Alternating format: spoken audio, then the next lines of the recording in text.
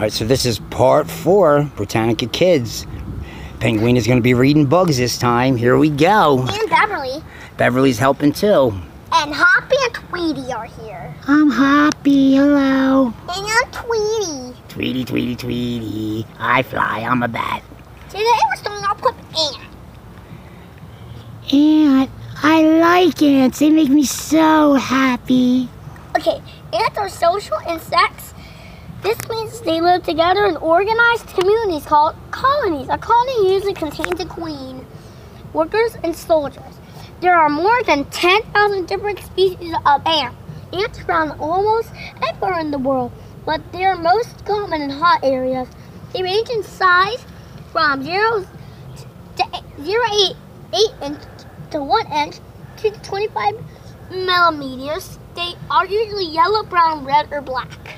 Good reading. Very good. And guess what? I'm a queen. I'm a queen too. A happy queen. I'm not a queen. I like it. What's next? Beverly and Penguina. Who's reading next, Penguina or Beverly? I already left out Penguin. Ant Lion. Yay! It's the ant lion. Whoa! It That- has wings. Whoa, like me. Tweety, let's get started, okay? Sorry. It's okay, Tweety. The adult ant lion is a winged insect. The ant lion is named for the fact that its larva or young mainly eats ants. The ant lion hunts by building a trap to catch prey. It does so by digging a cone-shaped hole in the sand and crouching inside it. Wow, that was very good reading. And I never even heard of an ant lion before today. How about you folks? We did. We saw one before. Wow, they must be really cool. Next is the aphid.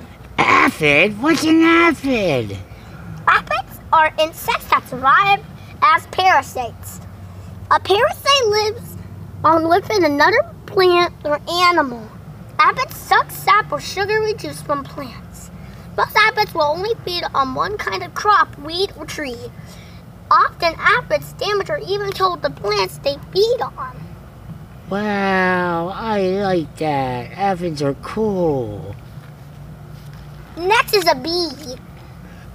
Bees make me sad. But Bees let's hear about it. Wasps sting you, bees don't. Bees sting, wasps bite. Look ahead, read. Read, Penguina. Bees are. Wait, it's Beverly. Ah, It's okay. I fell. Bees are insects related to wasps and ants. There are more than 20,000 species of bee. The best known species are honeybees and bumblebees.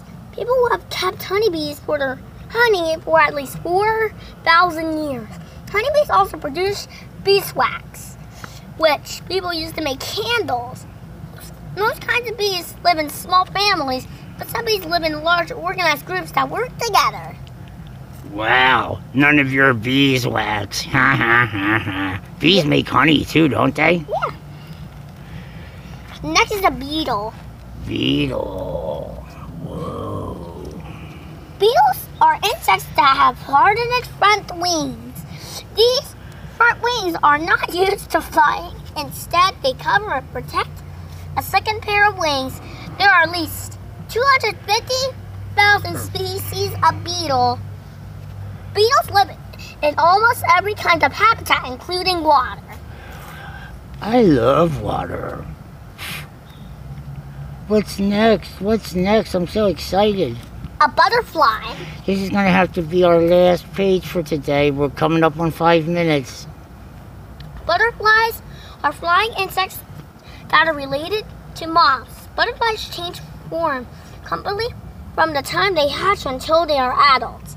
Nearly all butterflies eat plants. The adults of many species drink a sweet liquid called nectar.